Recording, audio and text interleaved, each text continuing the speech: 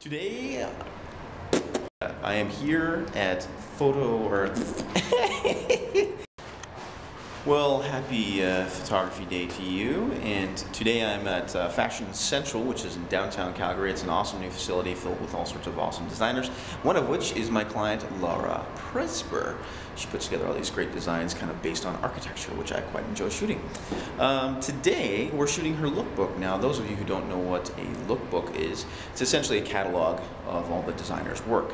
Uh, typically shot on sort of a nice clean white background so there's no distracting uh, shots of you know crazy backgrounds and stuff because it's basically for the buyers to look at. And then we'll also be sneaking in a few sort of editorial shots. Uh, they've got a beautiful cafe downstairs. They've got all sorts of nice architecture inside of here to shoot.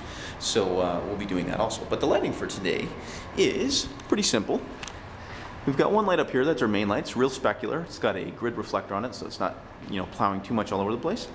Uh, we've got our fill light, which is actually a thin horizontal strip light, and that's to give you the nice sort of edge underneath the, the chin. Um, any horizontal surfaces have a deep shadow underneath it, which is actually looks really cool. Um, with the specular source, this is sort of filling in our shadow that would be generated by this guy. Uh, we've got another light right there that's just kind of filling in a little bit of our background. And then we've got a gridded light here, mainly because I don't want it to flare out into my lens too much. Um, that's just pumping a little more light into here and filling in more of the shadow area in the background. And of course, we've got our negative fill to keep our shadow nice and deep and crisp and uh, give me lots of control with my other light. Uh, the lens I'm using today is an awesome little lens. It is the 105. It's actually a macro lens. Um, it's actually really lousy for shooting action stuff because the focus on it really tends to travel a lot.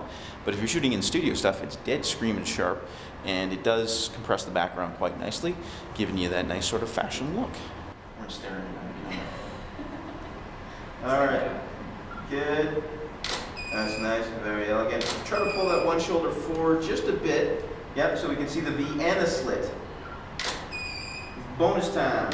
Yep. That was nice, good posing. A little bit of separation of legs, yep, that's good. Happy shooting. Any questions? Email. Let me know. I'll answer them the best I can.